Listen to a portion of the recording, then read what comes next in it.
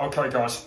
So, coming up on Friday, it's going to be a year um, since my grandma passed away. Um, and I thought that I would do a short video of kind of like going over the memory. So, um, yeah, so I'm going to be uh, writing a few words um, on Friday uh, from the passing away from one year ago. It's going to be a very, very, very sad day for me. Um, but I'm to live with it, okay? Um, and um, yeah, I can't believe it's it's come round so quick um, since I um, since I lost last year.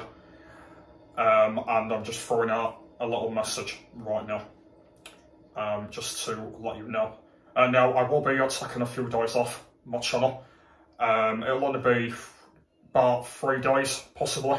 Uh, I might be having off, not not as many days, but a couple of days, um, and then hopefully I'll be all right. Um, and um, yeah, so that's the plan. It's going to be uh, very emotional um, on that day, um, but I'll be spending my time looking up there and uh, writing a few notes and uh, just uh, saying some lovely, lovely stuff about that. So yeah, that's what I'm going to do. Um, it would be really appreciated if you uh, if you do respond with some lovely messages in the comments below. Um, it'll be much appreciated. Um, or through all my social medias, um, I'm going to be putting some out on there as well.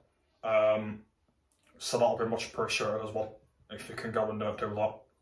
Much love as well from me. Um, and um, yeah, that's uh, that's uh, that's all I just wanted to say. Um, and um, yeah, so RIP to my lovely grandma. And uh, yeah,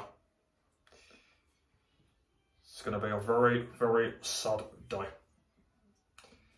One year ago from her passing away.